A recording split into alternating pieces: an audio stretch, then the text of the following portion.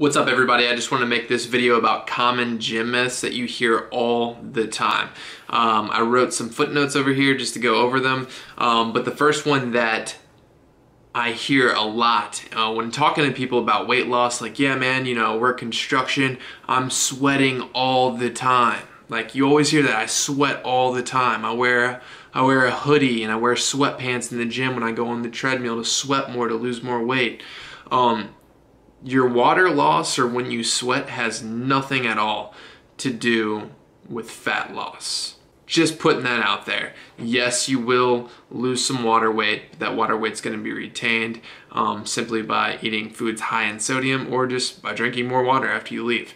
So that's a very common myth. The only way to lose fat is having a caloric deficit throughout the week. That's how you lose fat. Moving on to the second one, carbs causing you to be fat. You hear that all the time. Yeah, I'm on this Atkins diet where I'm only eating meat and I'm cutting out all carbs.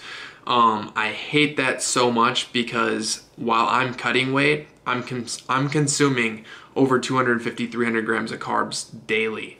Um, I never cut carbs. Carbs are your body's main source of energy and they should be in every single nutrition program that you're following. If you have to stick to a nutrition program or if you're quote unquote dieting and you're cutting out carbs or you're lowering fat, um, then you're then you are indeed dieting. You should be following a program where you feel as if you aren't dieting, which is the best quote unquote diet. Um, it's something that you can maintain for life and build a lifestyle around. At the end of the day, it's all about longevity. You want to be able to do something that you can say, you know what, I could do this for life. So what's the point in getting fit and getting in shape and getting the dream body that you want and strive for if at the end of the day it's only something that you can do for a short period of time before reverting back to your old ways and thus gaining the fat back again. If you think about it from a nutritional standpoint, fat has 9 calories per gram. Carbs have 4 calories per gram.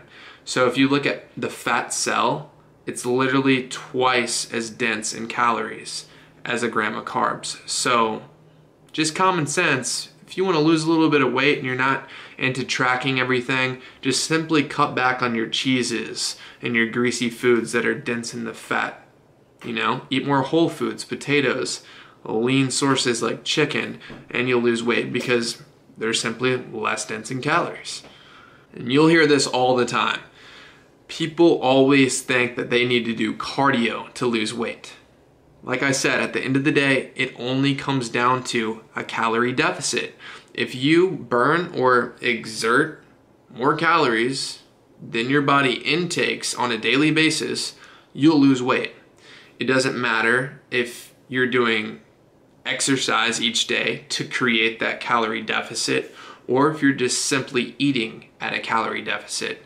Your body doesn't care. At the end of the day, it's a calorie deficit.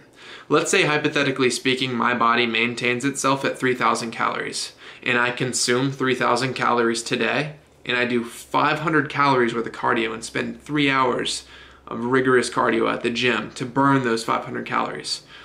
If I do that every single day for a week, I'll burn around a pound of fat. Or I could just simply eat 2,500 calories each day and burn the same pound of fat. Um, so it's work smarter, not harder, guys. All right, it you don't have to do cardio to lose fat. And in the gym, I see this all the time. Always see these guys working till failure. And a lot of my friends, they do it too. They're always trying to exert themselves, push their body to its limit. Um, and they say it's because that's how you get stronger, that's how you get bigger, um, pushing your muscles until absolute failure. Granted, that is um, a very good way. It's called sarcoplasmic hypertrophy, which is only accounts for about 25 to 30% of your muscle's size, which should be included in any single kind of program or regiment that you're following. Um, because a lot of isolation movements like bicep curls or concentration curls are sarcoplasmic hypertrophy based. Um, essentially, it's short for pump training. When you're training for a good pump or that burn in your muscle, and you're doing a lot of repetitions and very low weight, that sarcoplasmic hypertrophy. Now, what accounts for the other about 70% of your muscle size and strength is going to come from the myofibrillar hypertrophy, which is low rep range and high, high weight. or an increased amount of weight. And that's what you see a lot of athletes do. All right, it's all about explosive power. And that's why they're typically bigger guys, right? Because they're lifting a lot of weight for a very low rep range. Granted, you don't get that pump feeling where your muscles feel like really full of blood, um, but that's what forces them to grow when they feel like, wow, you know, this is a lot of weight. Your body always is trying to evolve and adapt to its environment. So if you're forcing your body to lift heavy weight, it's going to need to grow to keep up with yourself. Okay, so so both forms of training should be included into your regimen. Now that's just one thing that I wanted to put out for you guys. Um, I hear it all the time. So remember, carbs are not bad.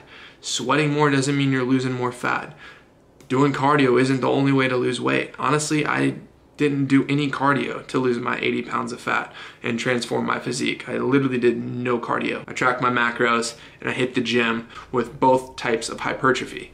So when it comes down to it, guys, um, you know, avoid all the supplements and all the media buzz out there that's uh, you know throwing you guys off track. It really comes down to the basics: eat clean, train dirty, and you'll see the results.